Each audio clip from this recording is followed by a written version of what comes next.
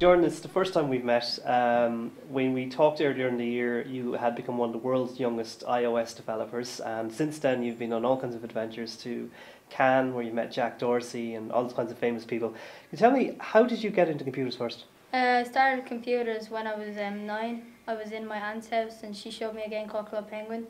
And so I signed up for Club Penguin and I saw that people were making websites about it. And so I started like making websites about it and then I just became obsessed with computers. And um, like you, you made your own game. Uh, you, were already coding before Coder Dojo came to Waterford. So you were one of the leading lights campaigning for this. How, how did you get Coder Dojo to come to Waterford? Uh, well, I just saw that they were doing it in Cork, so I just started emailing all the people to ask them, would you bring it to Waterford? And then they said, oh, um, we were trying to like work on it. And,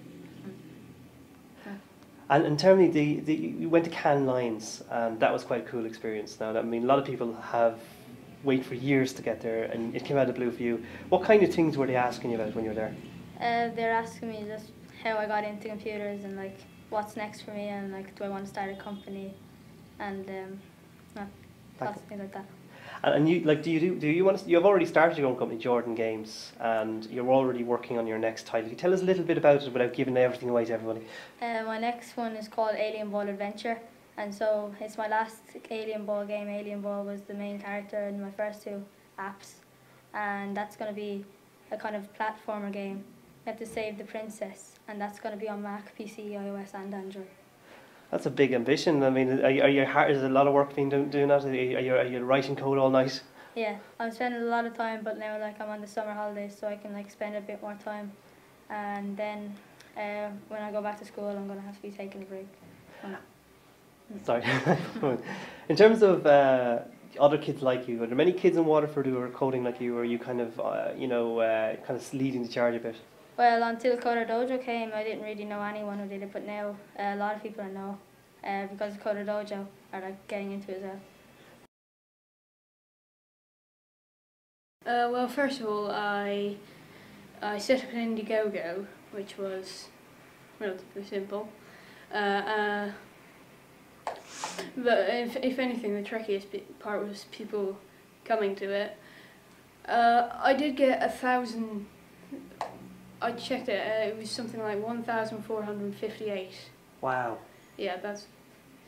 Uh, but only about twenty of them donated. So Did they donate enough for you to raise enough for the white laptop? uh, yes, so uh, show us, you got the laptop there, the MacBook Air, is it? yes, MacBook Air. And what, what are you doing with that now? What, what, what kind of games or what kind of things are you working on? Uh, I'm currently working on an app. Wow. Just, yeah, uh, it's it should be out next month if everything goes to plan. Uh, I'm currently experiencing a bit of difficulty. Well, I have been experiencing difficulty basically the entire time doing it. I've I've restarted it several times, but now I'm hoping this is the last. And is it an app for the iPhone or is it for... Uh, iPhone and Mac. Wow. And tell me, um, the kind of ambitions you have for your future. I mean, what would you like to be when you when you're when you're when you're uh, Uh, past past school? uh, just game dev. Game dev. Yeah. Would you like running your own companies? And Yes. Very good. What games do you like the most? Uh, What inspire you? What games make make you want to create, games? RPGs. mainly. RPGs. Yeah. Uh, uh, uh, sort of games that let you create things. For example, Little Big Planet, any, uh, the Trackmania and that. Very good. Yeah. Excellent. And uh, how long have you been in Dojo now? Uh, I've been in it since last. It, it was either late October very early November. So Jane, uh, you uh, came across my radar when I heard that there was a guy who had done an entire Linux install when he was only six years of age. Um, you've been you've been immersed in computers since then, and now you're twelve, and obviously uh, an ardent member of the dojo movement as well. Um, but you, you, you did all that stuff before there was a dojo movement. So so how did you get into computers? Um, really, I just had a really old computer and I got the internet working on it, so I was amazed by this internet where you could play free games and everything instead of having to go out and buy games for Nintendo 64s and things. So then I got really interested in, and I found this game called Club Penguin, and then I was I wanted to make a cheat website, so I learned HTML and then I created my own cheat website. Well, I've made about five of them now, and none of them have are still around. So yeah, then I got really interested into programming and I looked around and I then I wanted to learn how to make my own web browser. So I found this language called Visual Basic, um, which wasn't the nicest, but I learned how to make a web browser using Visual Basic, and then I made that, and then I got really interested in programming. And uh, today, I mean, you may go to the dojo, but I'm, I'd imagine you've a lot to teach the dojo as well. I mean, are you Yeah. like what, when you go to a dojo? What what do you do personally? I mainly help out and teach other younger kids and help them out. And what's uh, in terms of the things you do with coding today? I mean, you've done obviously done you built your own websites, you learned your cheat codes, you, you did Linux install, but uh, in terms of the kind of things and languages you're using now, and the kind of things you're building and hope to build going forward, what what are they? Um, well, I'm big into web languages like Ruby on Rails and PHP. Um, so I'm very interested in building web applications. Um, at the moment, I'm building a web application called Librematic.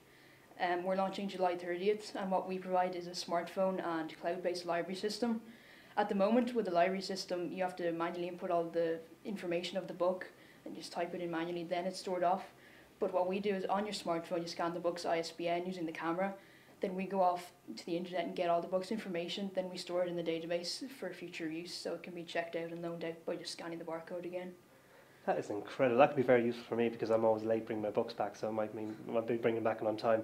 And in terms of your future, what what do you hope to be when you leave school? I mean, you still have school ahead of you and a few years of all that stuff that has to be done. But uh, in terms of where you'd like to go uh, and the kind of things you'd like to do in your future, Well, realistically, I'd like to be the owner of a company employing in excess of maybe 500 people.